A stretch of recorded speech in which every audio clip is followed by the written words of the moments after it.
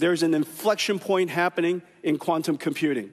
The number of logical qubits are starting to grow. Well, just like Moore's Law would, I could, I could totally expect 10 times more logical qubits every five years, 100 times more logical qubits every 10 years.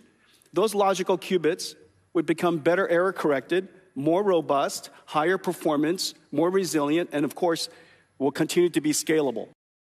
Talking about developing new materials, Jim, at the molecular level, perhaps down the road. They do have this partnership with Novo on drug discovery. Look, I, and I've been waiting for that. Uh, recursion was supposed to be one, too, and the, the drug person is, is excellent. I am keep hoping that they do some big deals on cancer.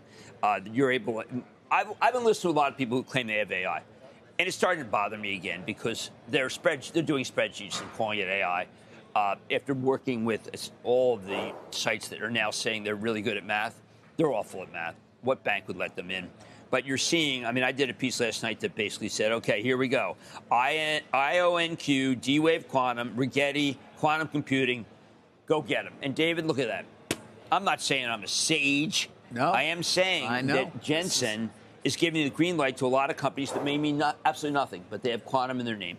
Um, uh, I mean, Honeywell's been very honest and said, listen, we're not ready. Right. Uh, and IBM does have quantum, and that's one of the reasons why Autumn, IBM is at an all-time high. Uh, those are incredible moves. If you were lucky enough to have decided that quantum was where you wanted to be at the beginning of this year, you are very happy, or even last year. Well, what do you mean Guys, that? Uh, well, I mean, I think it's uh, it's not uh, yet proven, right? We don't young, know. But it's younger people who are really cashing in. And you've made sit this, here and tell people to buy Smucker. You've made this point, right? You've made this point about nuclear and certain crypto assets. Well, it's very disheartening. I'm, I'm, I'm, disheartened by it. Well, don't be disheartened. Why? By the way, what read, value you added want, do we you have? want to get I heartened. read the names. You want to get heartened. Read Sam Altman's blog post from last night. It's entitled "The Gentle Singularity."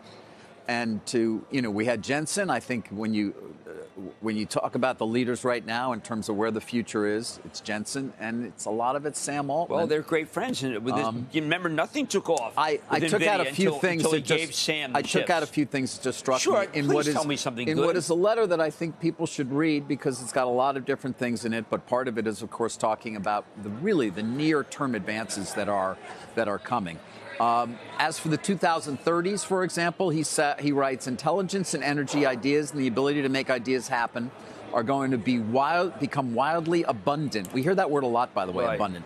These two have been the fundamental limiters on human progress for a long time. With abundant intelligence and energy and good governance, mm, we can theoretically have anything else. He goes on to say if we have to make the first million humanoid robots the old fashioned way, but then they can operate the entire supply chain, digging and refining minerals, driving trucks, running factories to build more robots, which can then build more chip fabrication facilities, data centers, and the rate of progress will be quite different. And finally, last part I'll take for you guys, and the one I've been focused on there will be very hard parts, like whole classes of jobs going away. But on the other hand, the world will be getting so much richer so quickly that we'll be able to seriously entertain new policy ideas we never could before. We probably won't adopt a new social contract all at once, but when we look back in a few decades, the gradual changes will have amounted to something big. Well, okay, Because so- nobody's going to have a job, so we're all going to be wandering around looking No, for some purpose. We're going to have an age of abundance. An age of abundance. It drives me crazy. Thank you. Uh, We I've have succeeded. a birth rate. My work here is we done. have a birth rate that's like the handmaid's tale, and we need people. And you may think that what look, and we're rounding up people in this country and sending them where God knows where. Uh, we don't let anybody in the country. We have a series of jobs now that the only people who really wanted them were people who felt, look, I, this is how I can get my kid to a college, which is really kind of the goal.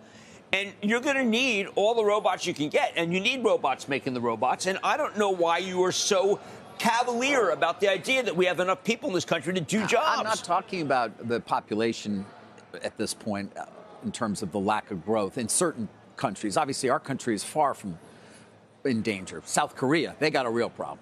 It's something like Oh, Italy has a 0.7. problem. In Italy, yeah.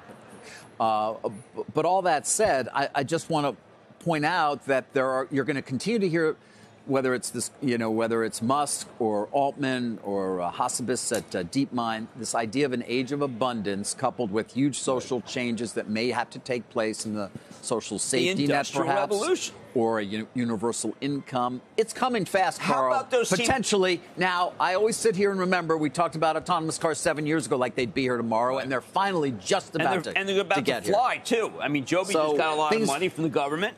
You know, they're not always right. Joby's terms real. I got to tell you, Carl, David probably in another time sat here and bemoaned the seamstresses. or the farmers. He misses the agrarian economies. He misses the Jeffersonian period, David. The man brought us tomatoes, all right? So, enough.